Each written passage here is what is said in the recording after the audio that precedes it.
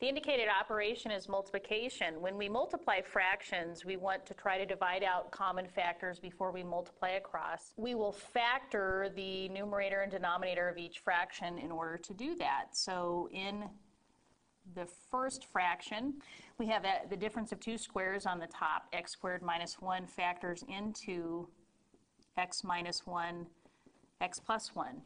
The denominator, x plus 2, is already factored. Uh, in the second fraction, we have x plus 2, which is already factored. And in the denominator, we have the difference of two squares, which factors into 1 minus x, 1 plus x. We can now divide out common factors.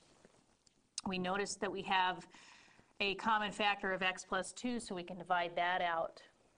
Now, x plus 1 is actually the same as 1 plus x by the commutative property of addition. So we can divide out those factors as well.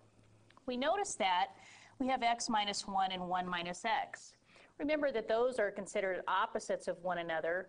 So in fact, the x minus 1 can be written as negative 1 times 1 minus x, which will give us 1 minus x in the denominator now we note that we have common factors which can be divided out, which leaves us with negative 1 for our answer.